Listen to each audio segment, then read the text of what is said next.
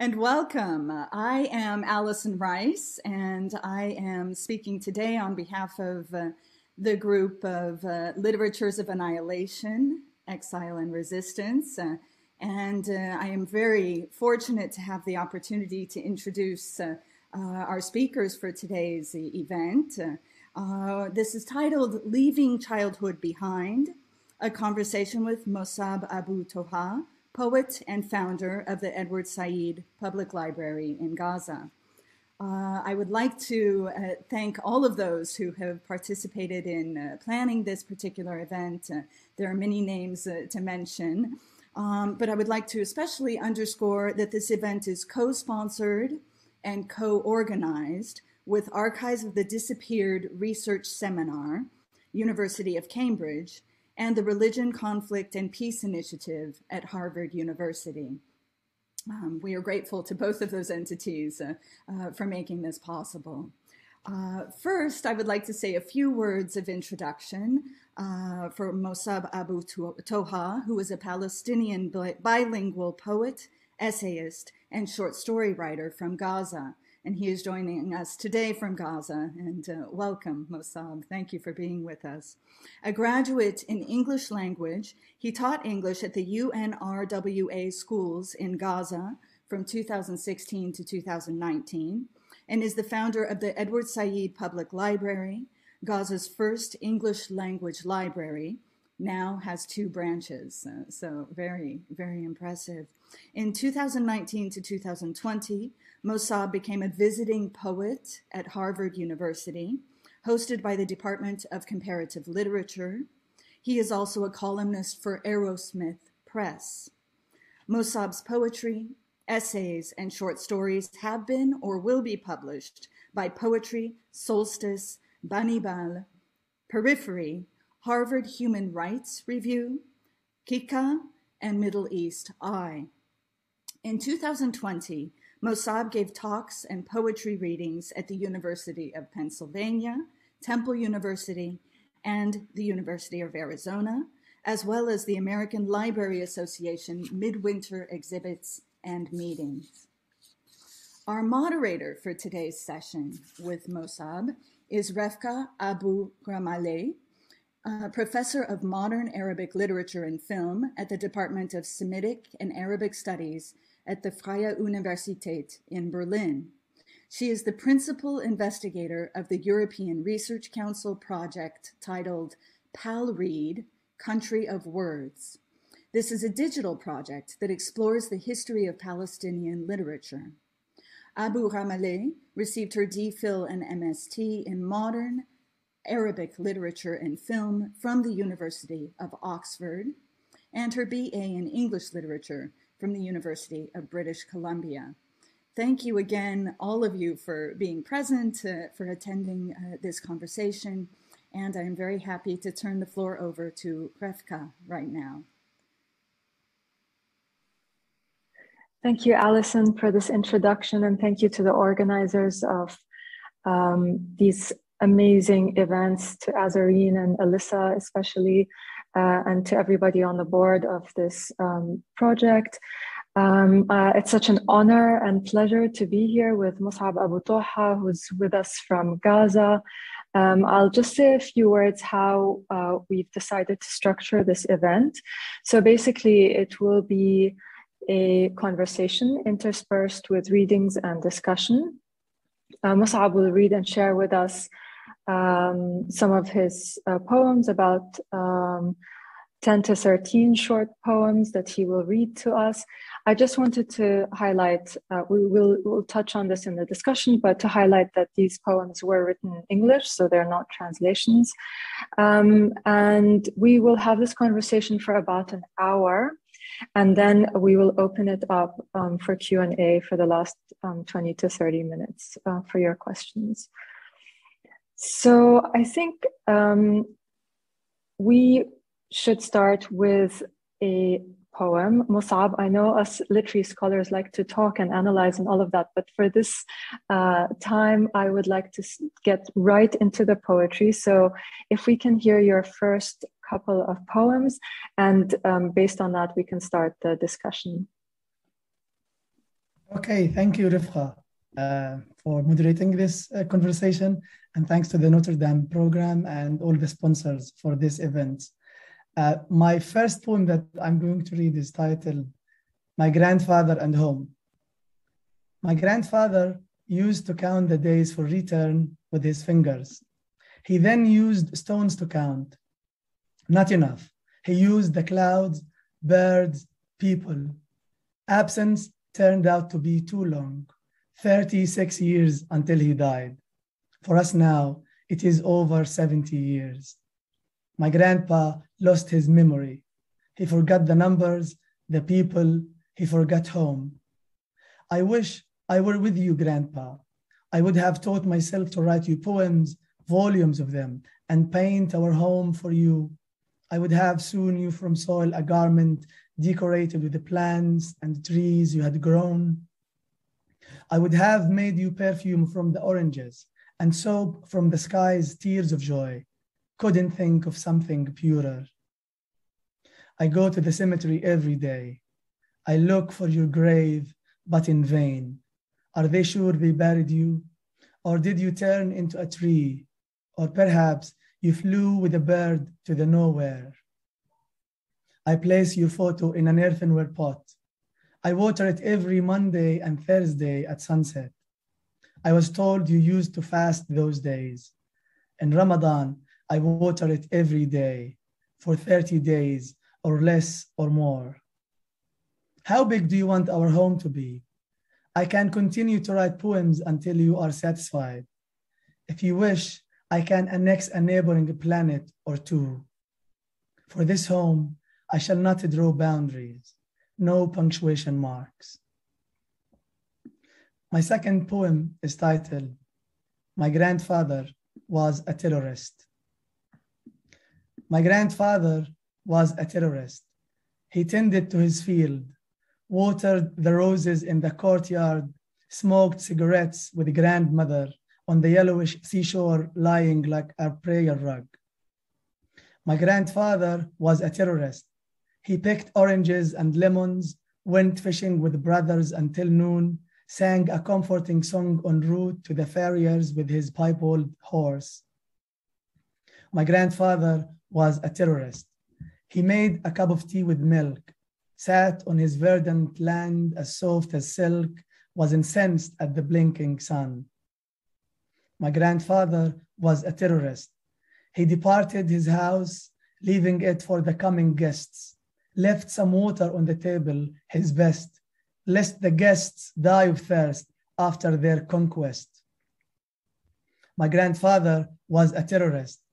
He walked to the nearest safe town, dark as the silent sky, empty as a deserted tent, darkling as a starless night. My grandfather was a terrorist. My grandfather was a man, a breadwinner for 10, whose luxury was to, to have a tent with a blue UN flag set on the rusting pole on the beach next to a cemetery.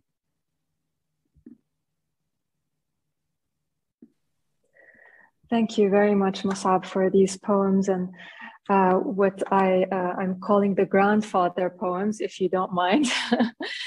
um, I don't know if you have more grandfather poems in store, but uh, thank you for sharing these two with us, especially uh, to start with these two, because I think they take us right to the very heart, to the very core of your poetry and to Gaza.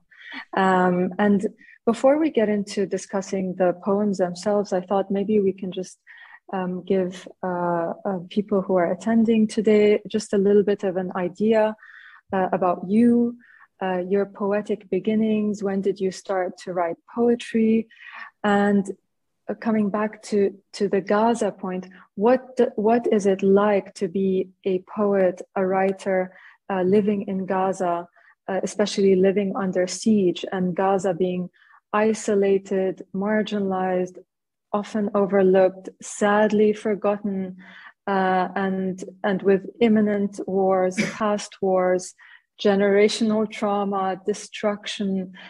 Um, what, what does it mean to be a writer living in Gaza? And, and just tell us a little bit about how you started to write poetry and and uh, how you got to to where you are today. Yeah, I mean, being born in Gaza means being a survivor of several atrocities, several wars. I lost many friends in Gaza.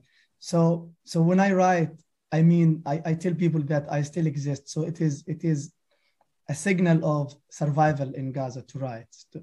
Um, so I, I, I don't know if I was living in maybe in another country, maybe I, I would be uh, a football player, maybe I would be a swimmer, I would be uh, maybe a designer of something. But I found myself living in Gaza and I had no means of leaving it I, uh, until 2019. So, I mean, I started to write in 2014. Uh, I graduated with a bachelor's degree in, in English from the Islamic University of Gaza.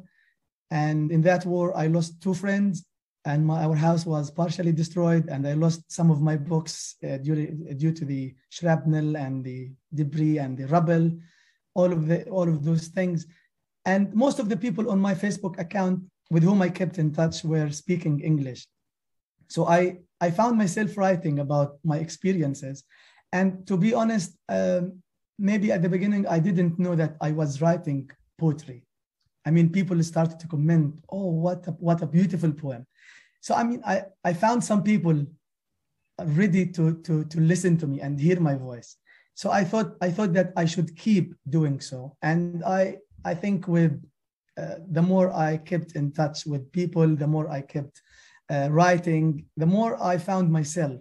So writing poetry in Gaza is something is something that maybe is a privilege because at least I can document what I, I experienced as a human being and I feel I feel uh, sad for those who lost their lives without, without telling us about their dreams, about the hardships they went through.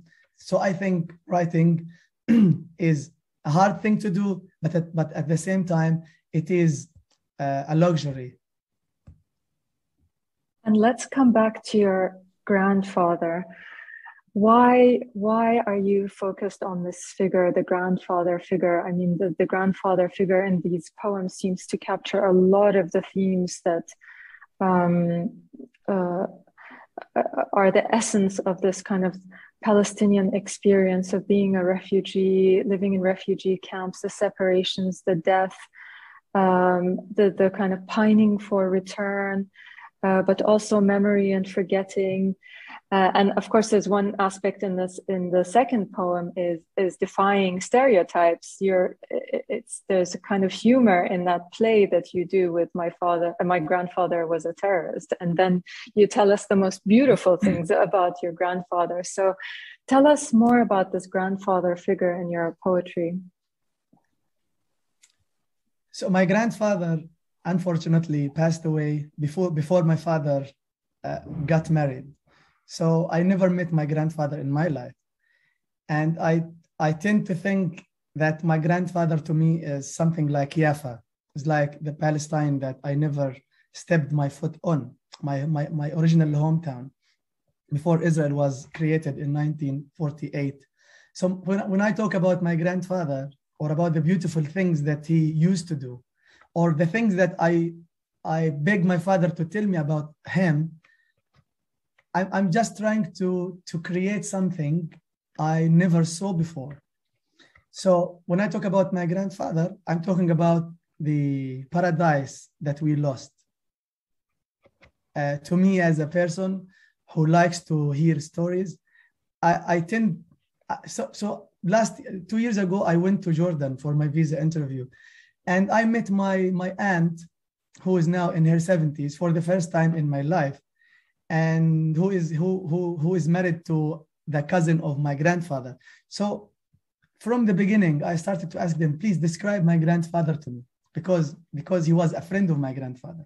So so I was asking him not about my grandfather as a body, no, about my grandfather as the landscape of Palestine, what he used to do, the kind of fish he used to eat, if he liked Om Kulthum or Fairuz as singers, uh, his his day schedule. I want to learn about the Palestine I never I never experienced. But unfortunately, I'm trying to uh, to tell the story of my grandfather based on the on some anecdotes that my father tells me or some of the people who who uh, happened to meet to meet my grandfather when he was young. Before and and another thing about my grandfather my grandfather was very strong. I mean physically he was healthy. And all of a sudden in the 1980s uh, he got sick and just four years and he died. So he represents palestine to me. Palestine was full of beauty full of strength full of life.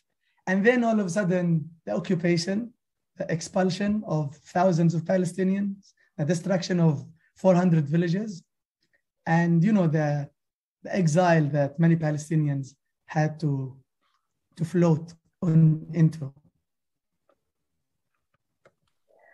So I think one last question about um, the grandfather poems is, I, and people um, can't see this at the moment, but because I have the poem in front of me, the first poem you read, My Grandfather and Home, is all in small caps.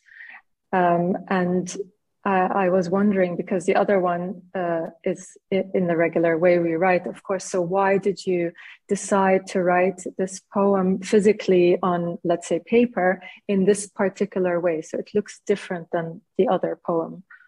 Yeah. So, so uh, because I cannot, I cannot create my homeland in reality, I promised my grandfather to create a homeland for him and for me, a home in words.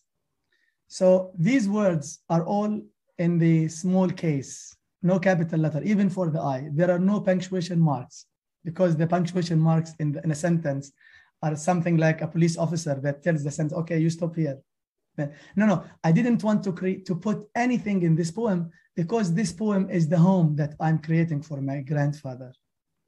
And and even if, if my grandfather wish uh, would wish, I would continue to write poems and even maybe lengthen this poem, which is about a, a page and a half. I would continue writing it and expanding it until I could annex a neighboring planet, or maybe I would you know, all the solar system planets I would include in this home. So this is why there are no punctuation marks. There are there is no capital letter in the poem because these things limit the the home that I'm trying to create for my grandfather.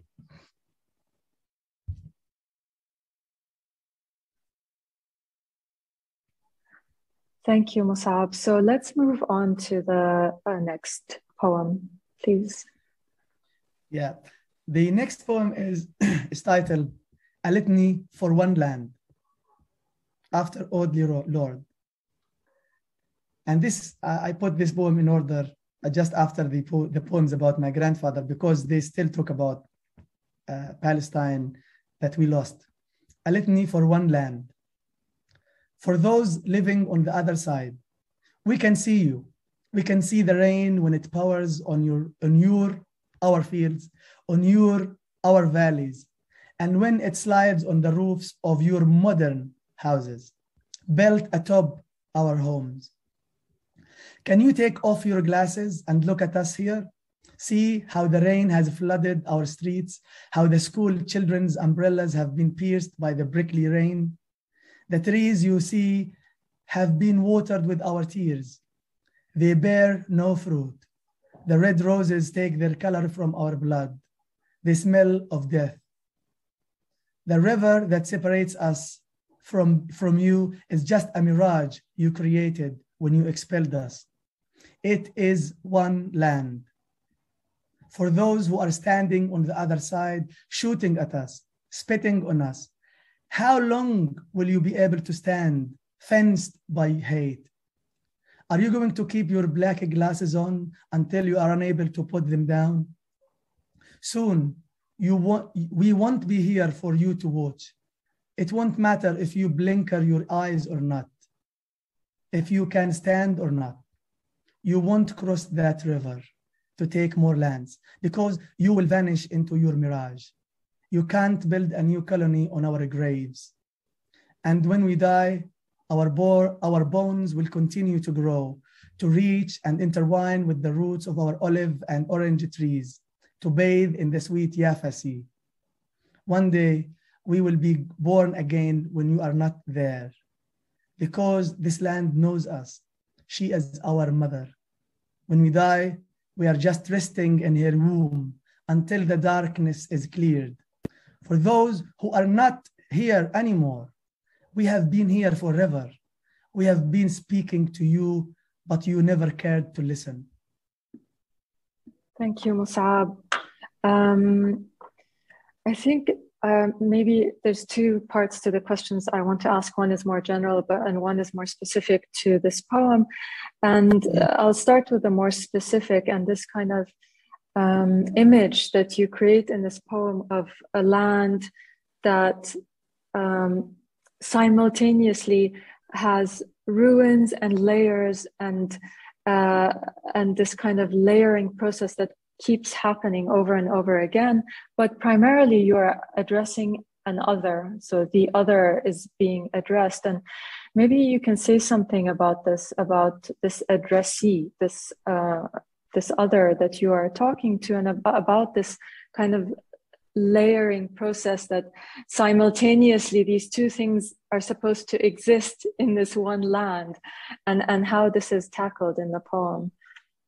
Yeah so this is this is a good question about the other because the other is just a big term so what i what i mean about the other is those who look at us as as different as less than them so i mean it doesn't matter whether those others are from this, this, this, this religion or this race or whatever it is.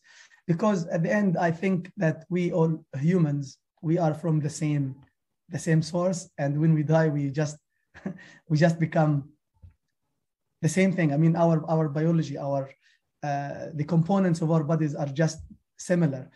But I mean, when I talk about the others, those others who, who, who reject to see us as similar to them, so I'm just calling to them because one day they will be unable to see us because they kept their black glasses. And I, I try I tend to think that that if we put any person in a room, in a dark room where no, there is no sun, there is no light, if you put them in a room, I think their ability to see maybe after a year or two years will be less than before. And this is this is what happens when people reject the others, reject to listen to them, and all of a sudden there is a trouble. Why, why there is a trouble? Because you never listen to these people who, who, who continued crying and telling them, telling you that they are bleeding until you might drown in the pool of bloods from those people who have been bleeding for hundreds of years. So those others, they are the, they are just like us, but they don't want to see us like as as people. And uh, one more aspect that runs through this poem, but also the grandfather poems, is this um, notion of being exiled in your own homeland.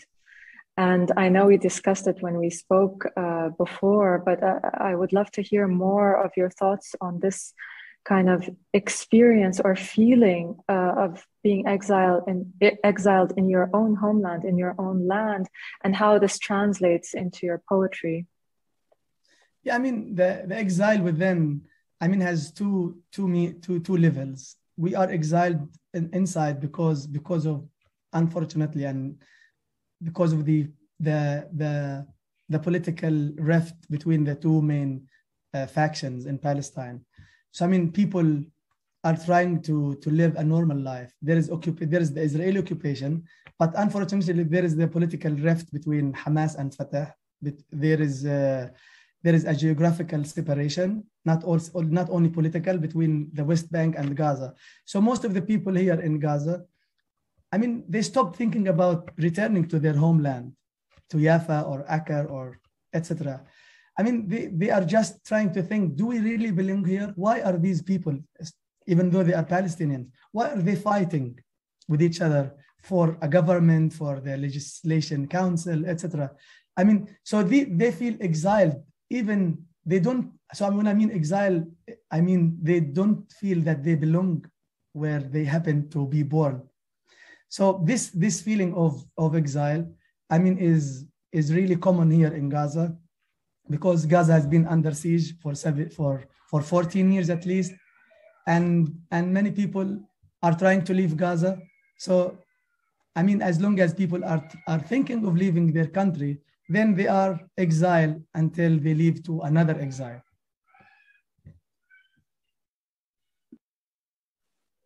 Thank you, Mosab. Um, I think let's move on to the next poem and I'll ask my more general questions after that.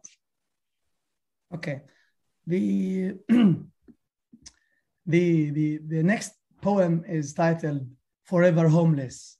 And I wrote it uh, after my experience in leaving Gaza and being searched several times, not, not necessarily at the airports, but also on my way from Gaza to Cairo I mean, it's it's just very humiliating. And and also being because I'm from Gaza, I might have in my suitcases some bombs, nuclear bombs, or some destructive uh, weapons.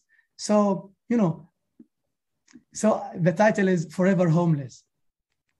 Before my long travel, I pack my suitcases, stuff them with some sand from our land, some scent from my mother's kitchen, and sounds of birds in the morning. And in my pockets, I put the four directions. My hands are the compass. At the airport, I beg the officer not to open the suitcases and, if needed, to touch my clothes gently. Otherwise, I would be standing on nothing, surrounded by nothing, see nothing. I would be weightless, and forever homeless. Yes, so this poem extends on this idea of exile, but takes it not just exile in the homeland, exile everywhere, so that you become weightless and homeless. And and the, I like this combination of weightlessness and homelessness. That the way you combine this in the poem. Um, I don't know if you want to say more about this uh, homelessness uh, in relation to exile, but not just exile in relation to the particular situation of Gaza or, or of being uh, or being born in Gaza, at least. Yeah, well, I, I mean, in fact, when we talk about Gaza, maybe unlike the, the West Bank, the other half of the Palestinian territories, we talk about people being unable to leave Gaza freely and also being unable to return to it when they want. So it's not only so when we talk about a prison, it's a prison for the privileged. So if you if you in order to enter Gaza, you need to have your Palestinian ID and and in it you, there should be Gaza in it. So you are not not I mean Gazans are privileged because they are the only people in the world who can enter this this geographical uh, spot on this earth. And also, no one can easily leave Gaza without a very necessary uh, reason. Let's say a medical situation or maybe a visa to uh, to to find life uh, on Jupiter. So you are the only person uh, who can do this. Then maybe if you are from Gaza, then they can give you the visa and the permit to leave. Um, so when I talk about Gaza, people also are not able to protect what they value because the Israelis would uh, many times would destroy a house on the heads of the its inhabitants. And when I, when I talk about myself being homeless, although I have a home in Gaza, but I cannot carry with me from this home what I want when I leave something that would remind me of my home in Gaza. I cannot carry lots of things. For example, when I when I left, left Gaza uh, for the first time in 2019, I didn't take my my my drafts, my poem put poems drafts with me uh, to Jordan or to Egypt or to America because I was scared that maybe an officer would look read read them and say, uh, "Did you write this?" uh, what's this word? Do you hate Israel? Uh, do you hate Egypt? Do you hate the uh, regi this regime or that regime, etc. Uh, is this your language? Okay, we like it, but uh, this is not uh, how you should use it. So, so when a Palestinian travels, it means that he might not be able to return. So he he he he tries his best to stuff his suitcase with with whatever he would like to keep for the rest of his life, as if he is going to the grave. And there is a popular question if you are going to die tomorrow, what would you like to take with you to the grave? So, to, for a Gazan, I mentioned something, I, I mentioned some sand from our land, some scent from my mother's kitchen, and some sounds of birds in the morning. So, these are things that we value. These are normal things, maybe to people in the world, but not for people in Gaza. Thank you, Mosab. Actually, this really um, takes us into the next poem. So why don't you read the next poem and we'll continue the, the conversation. Yeah, the next poem is titled Leaving Childhood Behind, which is the title of this event. And just before I get to read it, um, I, I wrote it thinking of both Mahmoud Darwish, the Palestine giant poet, uh, the Palestinian giant poet, and me as a, as a young poet.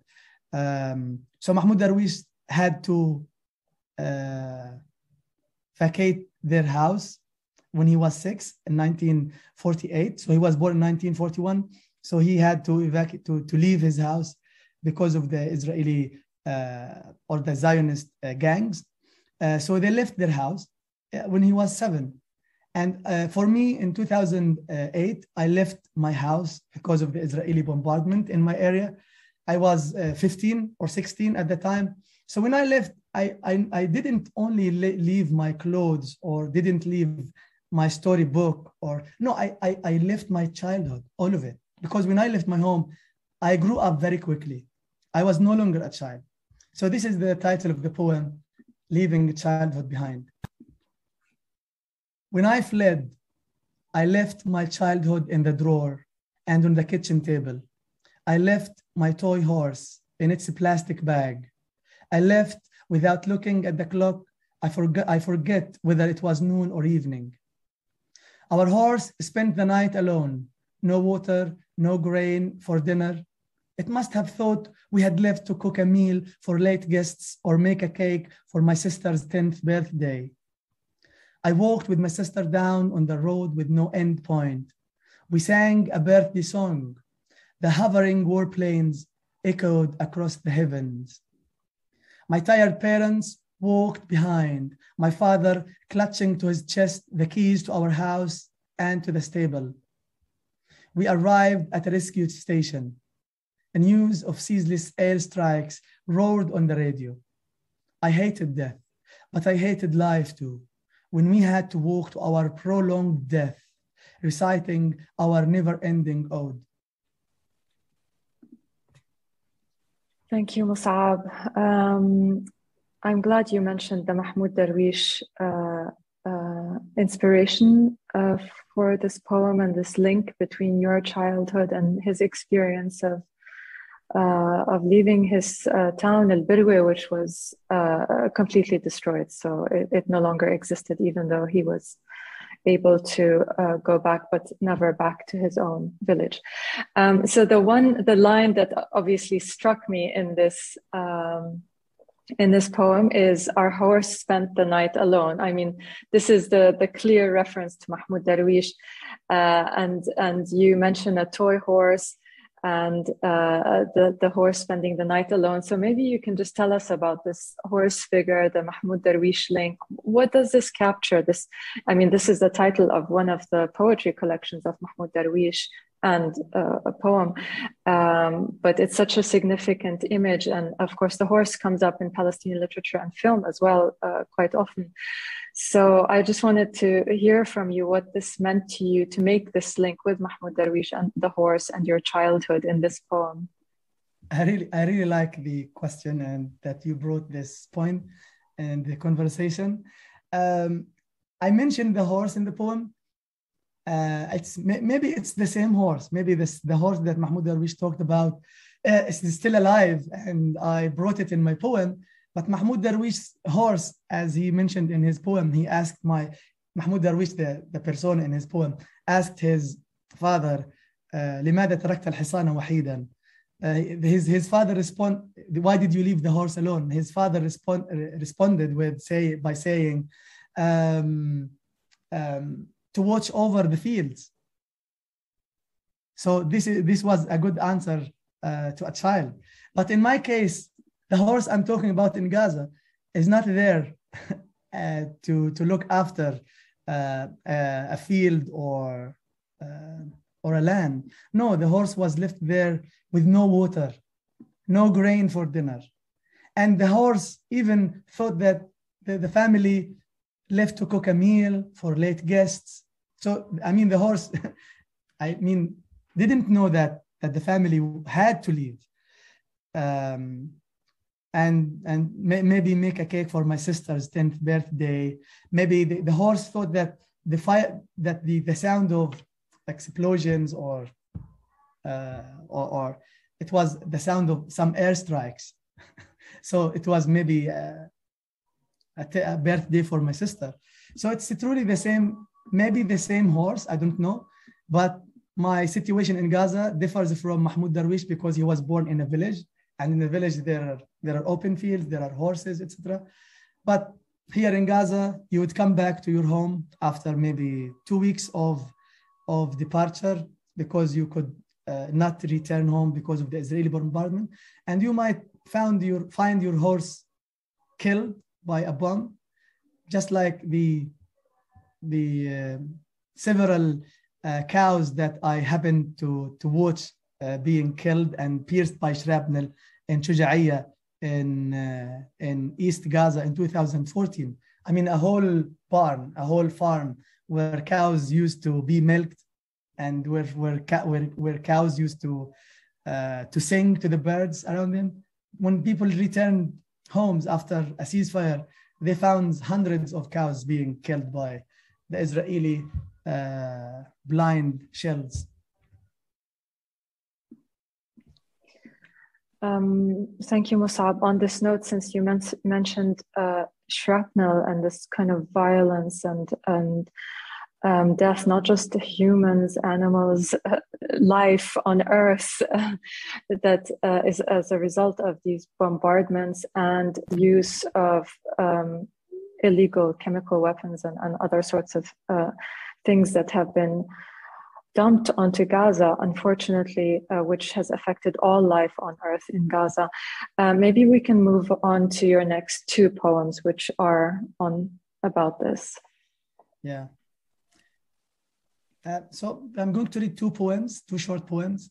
Um, and I wrote them during the Israeli May attack on Gaza, which uh, lasted for 12 days and took the lives of hundreds of people. And I wrote this poem, Shrapnel Looking for Laughter, about the Attanani family. Uh, Attanani family were, were, were killed under the rubble of their neighbor's house because they had to run away from their house because of the Israeli bombardment. So the, on their way out of their house, the, their neighbor's house was this bombed and the house fell on them um, so the father and the mother and their four children were killed. So a whole family just was wiped out. So I wrote a poem titled Shrapnel Looking for Laughter. The house bombed now, everyone dead. The kids, the parents, the toys, actors on TV, characters in novels, personas in poetry collections, the I, the he, the he, and she, no pronouns is left in the plays, not even for surviving kids when they learn part of speech, parts of speech next year. Shrapnel flies in the dark, looks for the family's peals of laughter, hiding behind piles of disfigured walls and bleeding picture frames. The radio no longer speaks. Its batteries have burned, the antenna broke. Even the broadcaster felt the pain when the radio was hit. Even we, hearing the bomb as it fell, took to the ground, everyone counting the others around them. We were safe, but our hearts still ache. And the second poem, sorry, is not titled, so it's untitled. A father wakes up at night, sees the random colors on the walls drawn by his four year old son, but he's dead after an, air, an airstrike. The colors are about four feet high. next year, they would be five or six, but the painter is dead and the museum has no new paintings to show.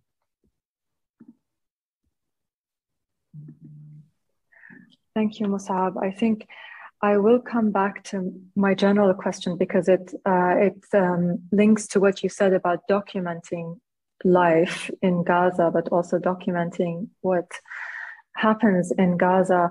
And here I, I want to ask you about uh, writing poetry in English, and you are bilingual, so you do write in both languages, Arabic and English. You mentioned that there was a time when you wanted to tell friends what was going on, and that's how you started writing. But he, here I want to ask you to tell us more about being a bilingual poet. What does it mean to you to write in Arabic? What does it mean to, for you to write in English?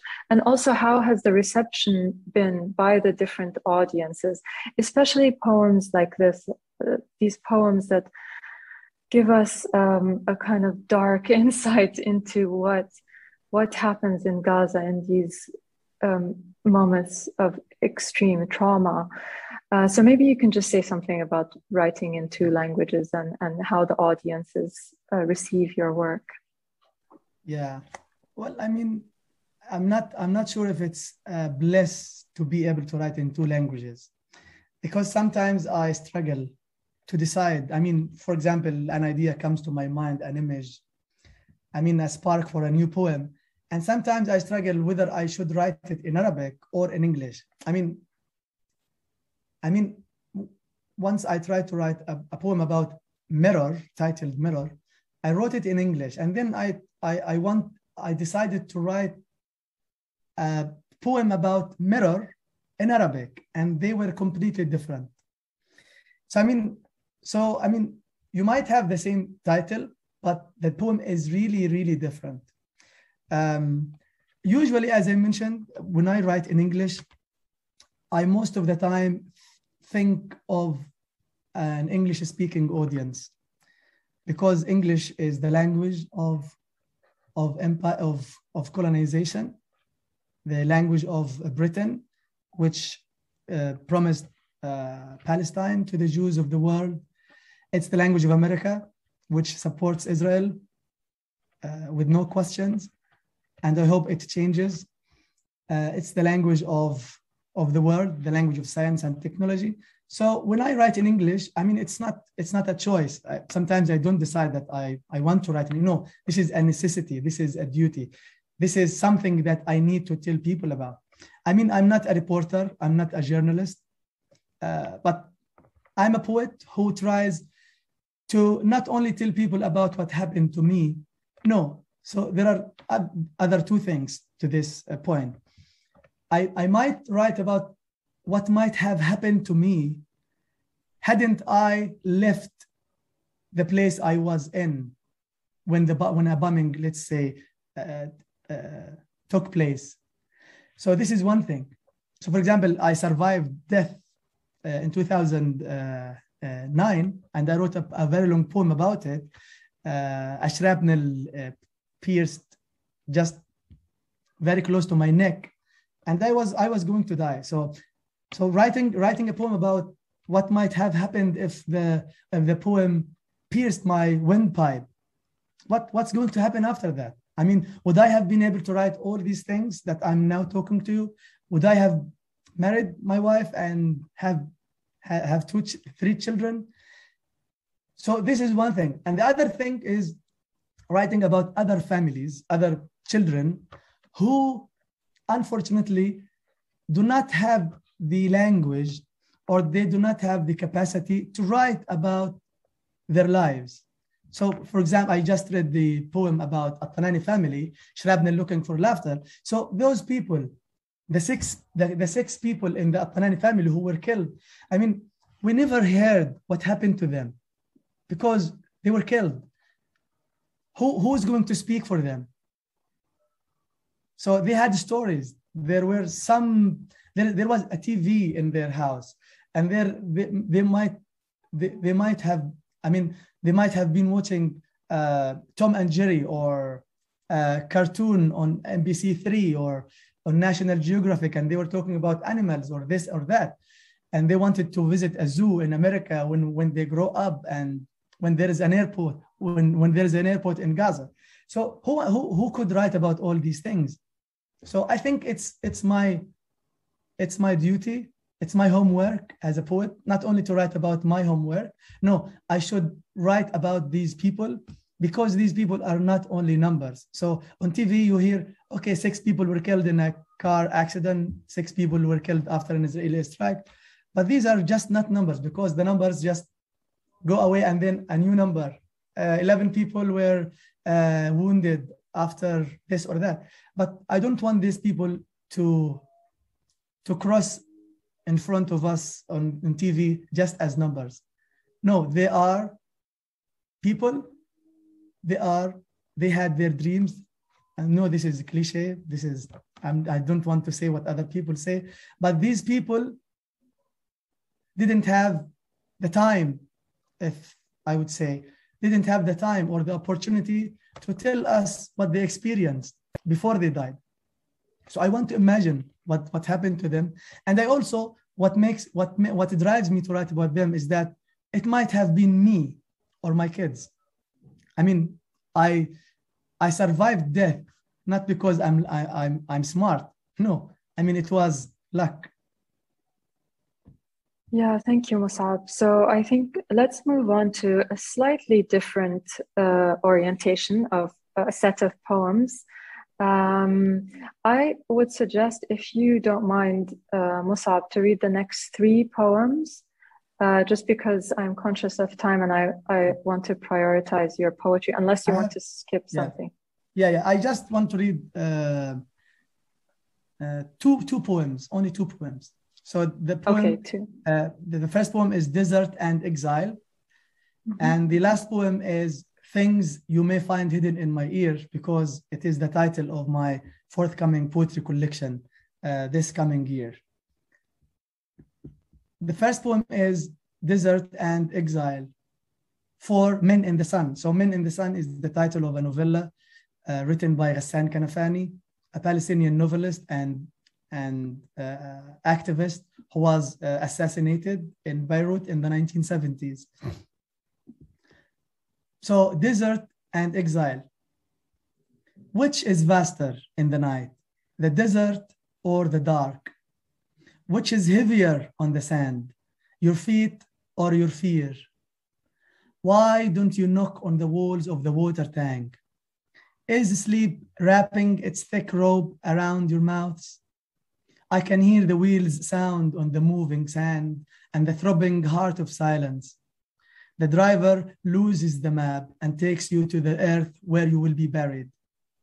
But all the prayers and anecdotes you shared will be heard by the mirage of exiled desert and the bones of dead camels and horses whose riders are buried under the erased footpaths.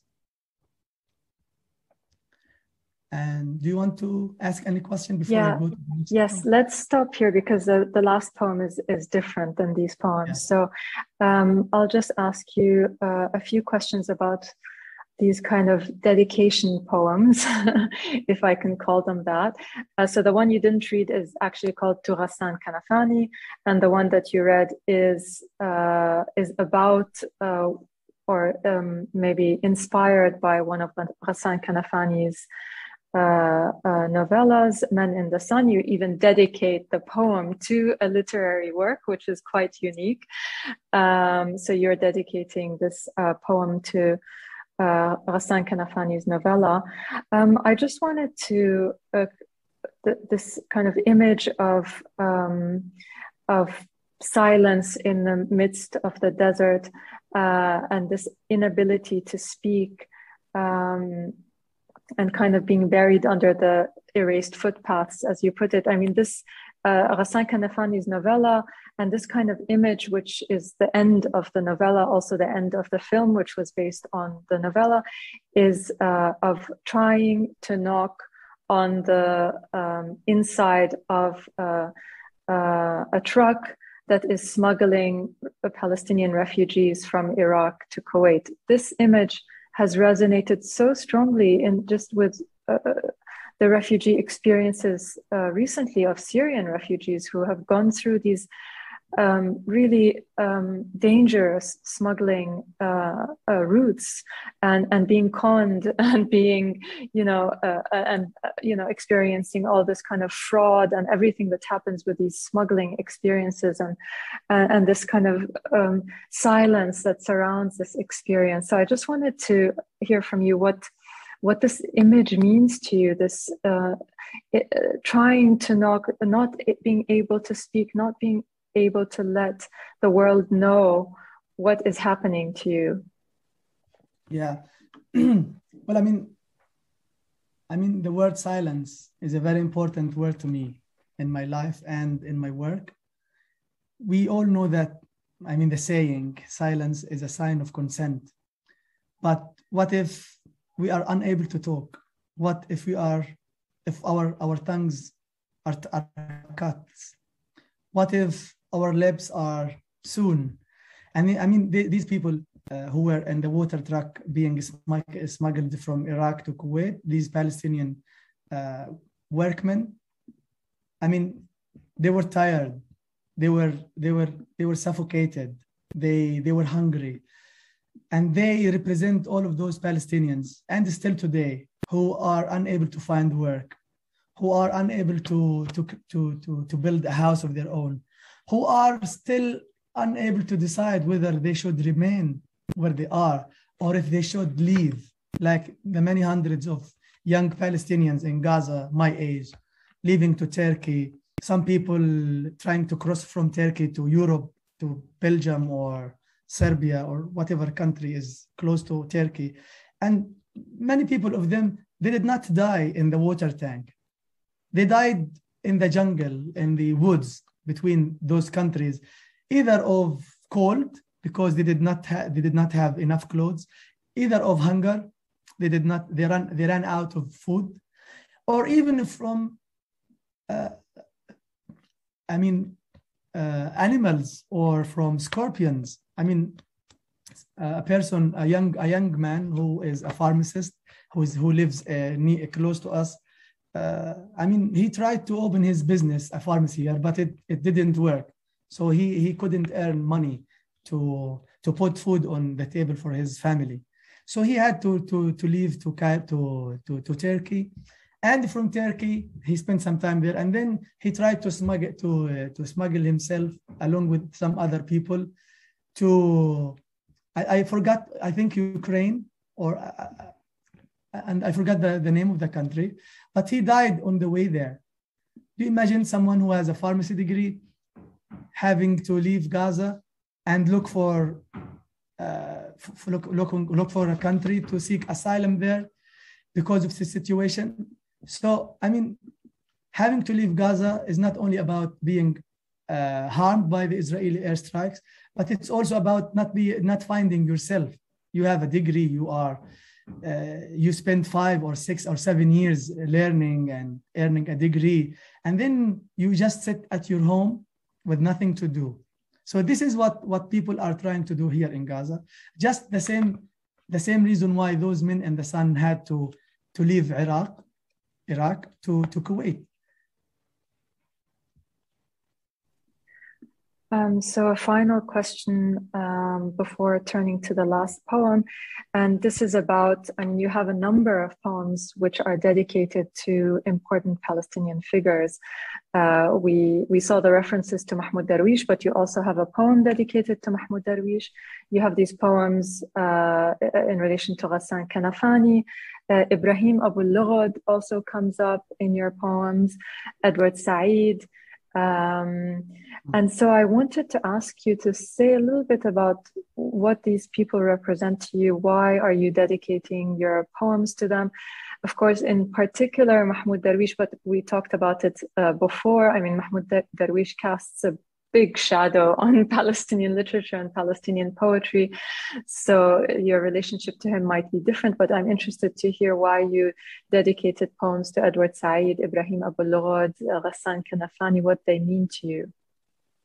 I mean, the names that I picked are not uh, are not unique to me. I mean, I'm not the only person who was influenced by them. uh, I want to focus here on Ibrahim Abu Lughod because not many people know about him. So Ibrahim Abu Lughod is uh, a political scientist who was uh, who was he who who comes originally from Jaffa, the same city my grandfather was expelled from. So uh, when I was in Arizona visiting a, a, friend, he told me about Ibrahim Abu Lughod and his brother uh, visiting uh, their home, what used to be their home in Jaffa. And the two brothers started to talk about uh, their memory of the house. So I tried to create this house for them. So, so in, in the poem, if, if you don't mind me reading it, because it's very short, uh, can I read it? Okay, so Ibrahim Abu Lughod and brother in Jaffa. The two walk towards the beach barefoot. With his soft index finger, Ibrahim starts to draw a map of what used to be their home. No, Ibrahim, the kitchen is a little farther to the north. Oh, don't step over there. Dad was sleeping there on the couch. Tourist kids run by, flying kites. The waves hit the beach, shaded with cloud cover. The mosque on the hilltop calls for prayer. Ibrahim and his brother still argue where their kitchen was. They both sit on the sand, Ibrahim takes out a lighter, wishes he could make tea in their kitchen for all on the beach. Ibrahim look upward to what used to be their kitchen window. The mint no longer grows. So I'm just trying to, to create a home for Ibrahim Abu Lughod, uh, who was a very close friend of uh, Edward Said, and he has a very uh, great influence on Edward Said himself. Uh, so uh, I admire Ibrahim Abu Lughod for uh, a very important uh, thing that he did, which was um, he was a, polit- a, political science professor in uh, I think Northwestern University, and and he insisted on on returning to Palestine, even though he had a post I mean, he had a place to work in America, but no, he decided and he insisted on returning to Palestine and teaching at Birzeit University. He wanted to do something to his country. And he insisted on being buried in Jaffa, the birth of his place, and which, which they did, although it was not easy to do so. So I wanted to dedicate this poem to him uh, because of what he did and because of his uh, wish to be uh, buried in, in, in Jaffa. And the other influence is Edward Said. And I think there are, there are, I mean, tons of things that one can talk about Edward Said. Um, Edward Said um, is an organic intellectual uh, who, who left the Palestine Liberation Organizations, uh, Palestine. So there, there was uh, a body in the Palestine Liberation Organization called the Palestine uh, National Council. He stepped down from this post uh, in protest to the Oslo Accords. And he was on good relationship with Yasser Arafat, the Palestine uh, to be president at the time, the Palestinian president to be at the time. I mean, he didn't say what other people wanted to hear. No, he, he, he, he told others what he believed was right. So he represents a lot of things to me. And Ghassan Kanafani, I think we talked about him. He was, he, I mean, he lived only for 36 years, but he wrote a lot of novellas and he had lots of drawings. And he was a spokesperson, a spokesperson for the Palestine PLF, the Palestine Liberation uh, PFLP. Yeah, the, yeah, one of the movements. So he was a, spec, a spokesperson. He was uh, an editor at a newspaper. He was a, no, a novel uh, a novella writer, and he was a, a, a painter. So he, he was lots of things in this very short life, and and he was outspoken of the Israeli occupation. Mm-hmm. Yeah, thank you, Mosab. Of course, um, uh, uh, uh Kanafani. Yeah. Sorry. Sorry. Ghassan Kanafani was a pioneer in a, a, a, in a different way than Ibrahim Abu Lughod. And I just wanted to say thank you for highlighting Ibrahim Abu Lughod. He, he's not, I mean, he was very influential for that generation, but our generation forgets about his influence. And uh, since he didn't leave a lot of cultural literary works behind him, I just wanted to say that there is a beautiful volume that was published on him by Birzeit University because I had been really searching for more on Ibrahim Abu Lughod because I could understand that he had such a great influence, but it was hard to track uh, this kind of influence. But yeah, uh, Birzeit University did publish uh, a, a, nice volume on Ibrahim Abu. It might be difficult yeah. to find, but it's there and it's uh, it's about his life and work and, and thought. Yeah. So um, maybe, maybe you can yeah. add my poem to the to these to these references. Yes, absolutely, because I'm really uh, trying to hunt it down for the project, especially that uh, we're trying to get this kind of information. So, yeah, we can add it as a reference. so, Mosab, let's move to the last poem. And uh, I think we can stop there after you read the last poem. It's a beautiful, it's, it's, I, I'm happy you chose it as your last poem. It will leave us on uh, a specific note. And I think, Alison, if you're happy with it, we can just open up for Q&A straight after Mosab uh, reads the last poem. Uh, and Mosab, if you want to say something about the poem before reading it, please go ahead, uh, because I, I, think we just give the audience a chance to ask questions. Okay, thank you. Um, so this poem is very special to me. Things you may find hidden in my ear. First, because it's the title of my forthcoming poetry collection and second because I wrote it um, just after I had a, surgery on my ear uh, in America. So I, I, I tried very hard to to have the surgery on my ear in Gaza, but because of the the very critical situation in Gaza, the lack of equipment, I couldn't do it in Gaza. And then when I had the uh, the fellowship program at Harvard University, I had the uh, the the very the very good uh, health insurance. And i went to the doctors and they had they they did everything necessary to diagnose my my my ear problem. And then we booked the uh, the surgery date. And then it had to be postponed because of covid. That was in april. So i had the surgery in july uh, 2020 so about a year from today so I first wrote the I, I, wrote the first half of the poem and I showed it to my doctor after, just a month after the surgery, and she felt very happy about it. So I'm dedicating it to to her, and then a few days later I thought of writing an, uh, the other half of the poem, and you will you will understand what I mean about first half and second half. So things you may find hidden in my ear.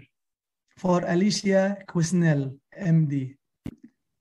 One, when you open my ear, touch it gently. My mother's voice lingers somewhere inside. Her voice is the echo that helps recover my equilibrium when I feel dizzy during my attentiveness. You may encounter songs in Arabic, poems in English I recite to myself, or a song I chant to the chirping birds in our backyard. When you stitch the cut, don't forget to, pull all, to put all these back in my ear. Put them back in order as you would do with books on your shelf. Two, the drone's buzzing sound, the roar of an F 16, the screams of bombs falling on houses, on fields, on bodies, of rockets flying away, rid my small ear, ear canal of them all. Spray the perfume of your smiles on the incision. Inject the song of life into my veins to wake me up.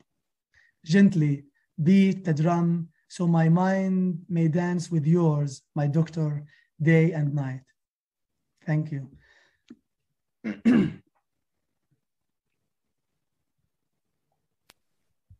Thank you, Mosab. And shall we open it up for Q&A?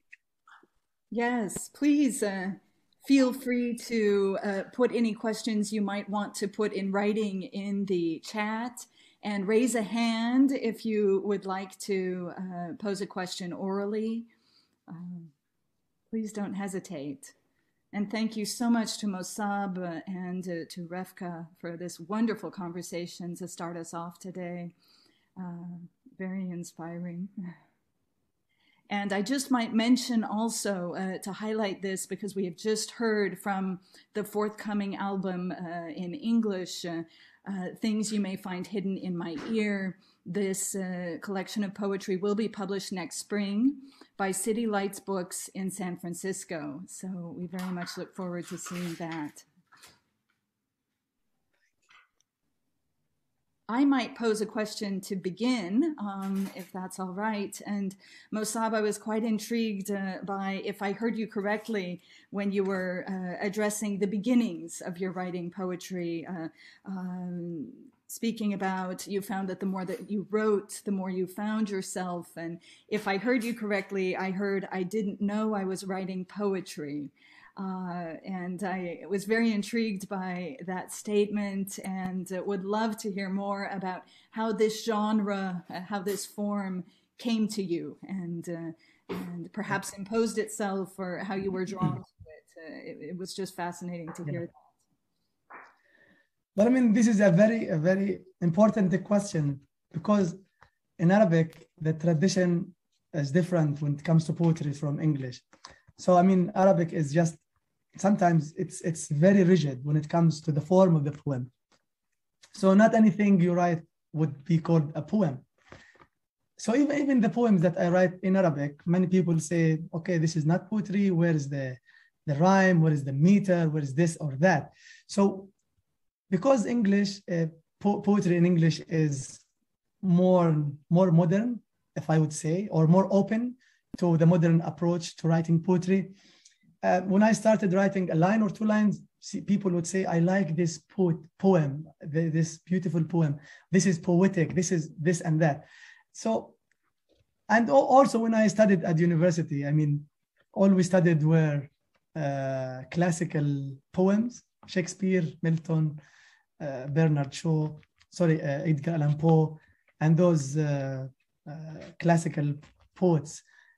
so when I found myself writing things which people receive, I mean, I don't even care about whether what I'm writing is poetry or not. I just want to write something that that touches people's hearts and minds. I want to leave an impression on people, tell them that we do have the capacity to write, and we have we do have feelings, and we can deliver them by way of poetry or in prose. So, and even, and this is also funny to add that even when I was creating the Edward Said Public Library, I mean, before, before I chose the name, I was collecting books. I mean, at the beginning, I, I wasn't having that idea of a, a library and there would be shelves, chairs, tables, people coming, a librarian, and open, open, opening hours, etc so this is funny to say, but when I was creating the library, I didn't know that I was creating it. That's wonderful. Wonderful. Thank you so much for those comments. And I see yeah. that we have a hand, uh, Natalie.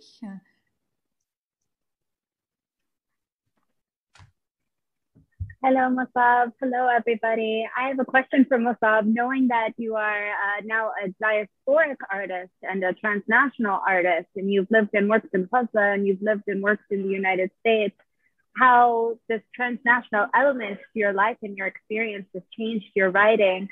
And I'm also wondering if you could speak to what you hope American audiences or audiences outside of Palestine most get from your poetry.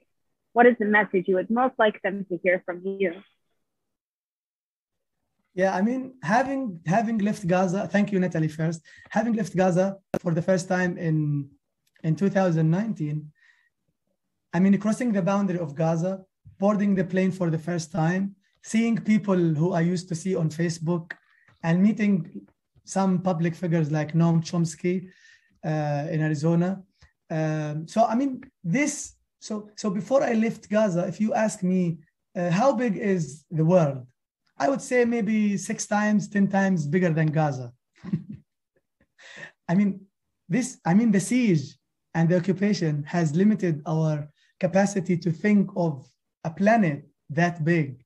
So when I left Gaza, I mean, I started to see the earth as it is. When I traveled from, let's say, Syracuse to New York City, we, uh, uh, we spent about seven hours in the car. I mean, I said, oh, we are still moving from a state to a state, not from the East Coast to the, uh, to the, to the West Coast. How big this country is. And now we are living, so I'm, not sure if this is adding to the answer. And now, so I, I was start, I was addressing myself, and now we are in Gaza, living in this 141 uh, uh, square miles. People are coming from Russia, from Europe to this spot on earth, and they are leaving all these all these countries, all this space.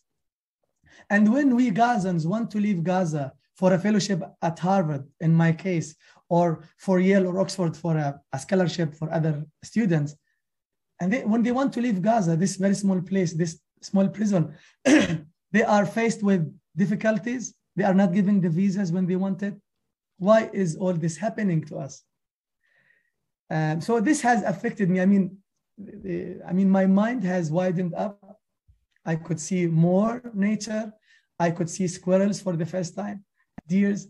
I could see the train. So I wrote, I wrote a poem about uh, a train in, in Arabic. Um, I wrote, I wrote a poem about an airplane in Arabic where a child asks his mother. So, I mean, without leaving Gaza and boarding a plane, I wouldn't think of, of this image. Uh, I wrote that uh, the, the plane was violating the privacy of the clouds because it's above them. The, the, the plane was violating the privacy, the privacy of the clouds. And a child looks outside the window, through the window, and asks his mother, Why doesn't it rain when we are above the plane? Why doesn't it rain on us when we are above the plane, the clouds, sorry? So I mean, this this experience has has given me uh, lots of things. It added to my thinking. Uh, I, I, I think I'm now a global citizen. Um, I think now I'm uh, I'm living another life.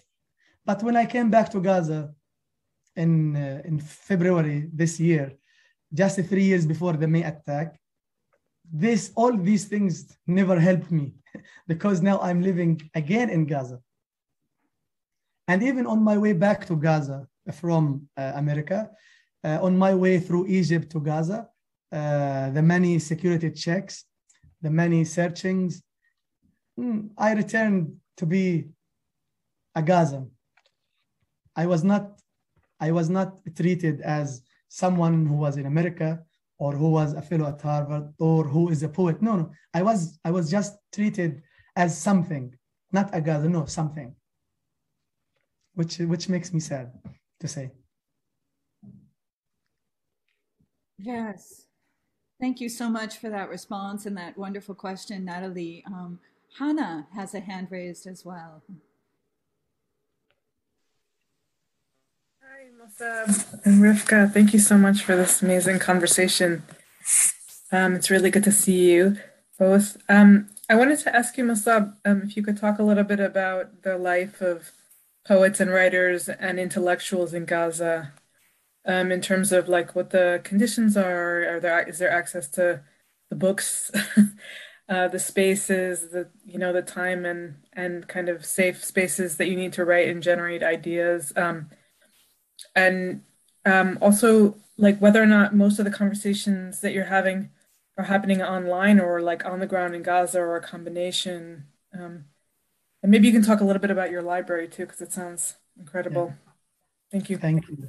Thank you. This is a very good question to talk about not myself only, but also about my colleagues and those writers who might not uh, had might not have had the opportunity maybe to leave Gaza or to write in English to be read in this uh, this important language.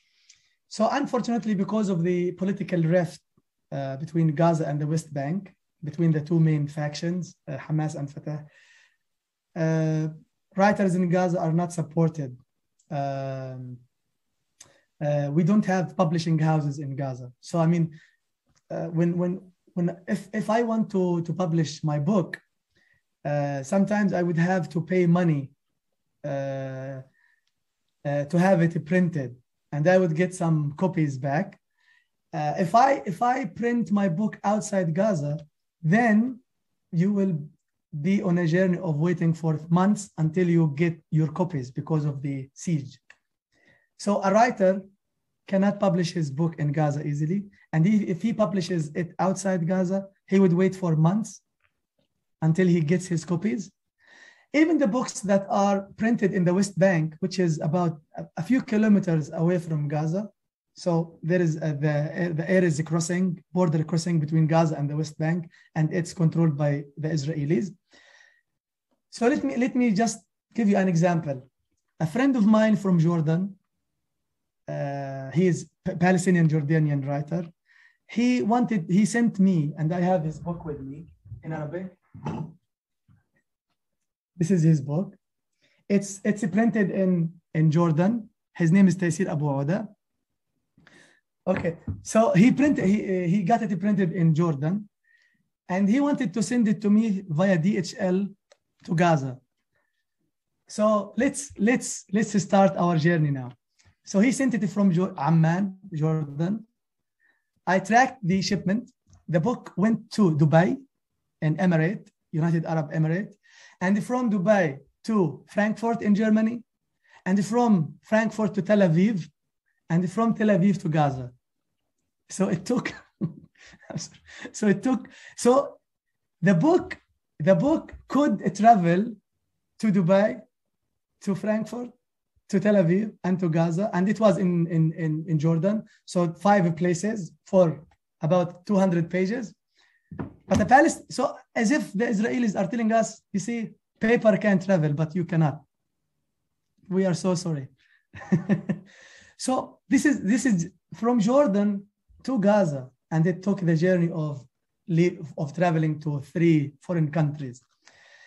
Um, uh, a friend of mine sent sent sent me some books uh, on September 27, so about 40 days from today. The shipment still hasn't made it to Gaza. It has been in Israel since September. Uh, sorry, she sent it on August 27. The the box, the parcel, made it to Tel Aviv uh, on September 6th. So a month from today, the, the shipment is still there. I don't know what it's doing. Uh, maybe it's uh, it I don't want to be funny. Maybe it's reading something. It's uh, it's going to Yafa, visiting Yafa uh, on my behalf. I don't know. Um, so this is the life of a writer, a life of a reader. Um, in Gaza, I, as I mentioned, there is no support for writers or readers. And what I'm trying to do with, with the Edward Said Public Library is offering a venue to the readers and writers to meet and to read and to hold events. Um, and I think you mentioned something about uh, online events. Unfortunately, I think I'm lucky to uh, to not have been cut by the poor internet connection that I have. I mean, internet connection is unreliable in Gaza. Electricity is not reliable. So electricity is off in my area. And the, the lamps, the light that you see here is powered by a battery.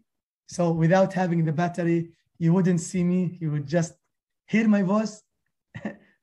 uh, so this is the life of a writer and um, and a reader in Gaza. It's it's not easy.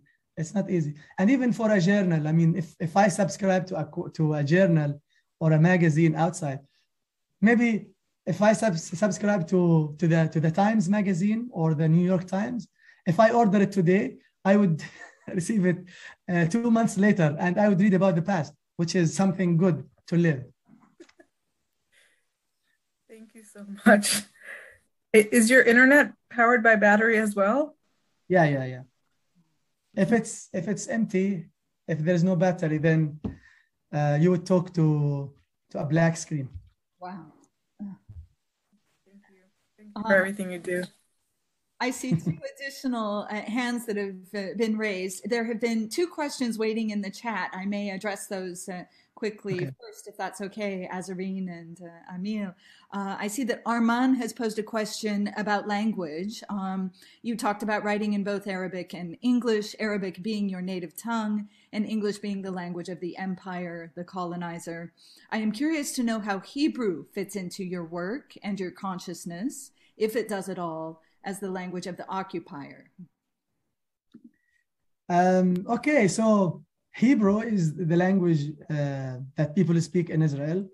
Uh, unfortunately, I mean, I have no problem writing in Hebrew if I if I master the language. So Hebrew is not taught in Gaza, only Arabic and English. English, Arabic as the native tongue, and English as a foreign language that is taught from the first grade until high school, and you can major in it at university. So I, I never had the chance of learning Hebrew, and if I had the the capacity to write in Hebrew, I would write it because it would be very good for people in Israel to hear about uh, what I'm writing about because they don't usually hear what, what happens in Gaza except from the Israeli media. And I think uh, just a few a few weeks ago, a friend of mine who lives in Israel, she's American, but she goes back and forth to Israel. Uh, she asked me to translate some some of my poems uh, and send them for publication uh, in Israel. She translated them into Hebrew, and they are published in a magazine or I think a website. So I have no problem in being uh, in being translated into Hebrew or of of being uh, of writing in Hebrew. I think it, it would be good. Poetry is a means of communication between nations, just as language is. Mm-hmm. And maybe uh, this follows because it's a question from Maria Rosa regarding poetry, uh, precisely. Um, you want to tell a story of survival, but you choose poetry and not narrative. What do you think the impact of poetry is for you? Yeah. I think poetry is is deeper. Uh, when I, when I write poetry, it's I, I go into deep feelings while when I write in uh, in prose, it's about conversation and sometimes adding adding more and more details, but still the same idea. But when I write in poetry, I want to read small things which carry an image that you would spend an hour or two hours with. So I, it's a true. I write I write prose. I write stories, uh, but I focus on writing poetry. And again, I'm not sure I'm a writer, I'm not a scientist, or I'm not a scholar. I don't usually decide whether I want to write this in poetry or in fiction and prose. I just write. However, it comes out, it's there. And I, I sometimes try to think maybe the words I'm writing are on the piece of paper, on the sheet of paper. And when I put my pen, they start to, to appear on the paper. They are, they are already there. When I hold the pen, they start to, to appear on the paper.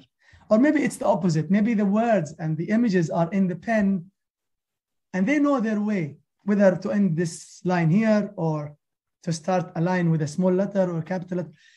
I just write. And I usually don't revise what I write until maybe months later. Thank you uh, so much. Uh, Azareen has a hand raised.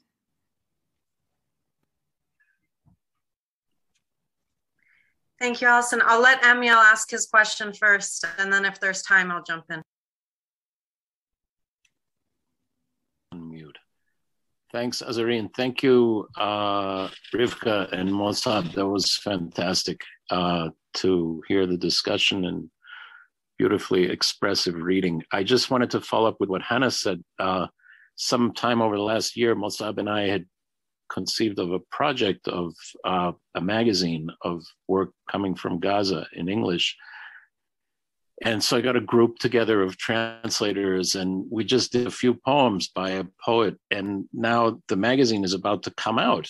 and this is the problem of mail. You know, like I want to get it, I want to get it to Nasser Rabah and to Mosab, and you know, it could take two, three, four months, and it might never get there. So it's really a problem. You know, it's it's a huge problem. Just um, yeah. So I just wanted to add that to the to the uh, mix. Yeah.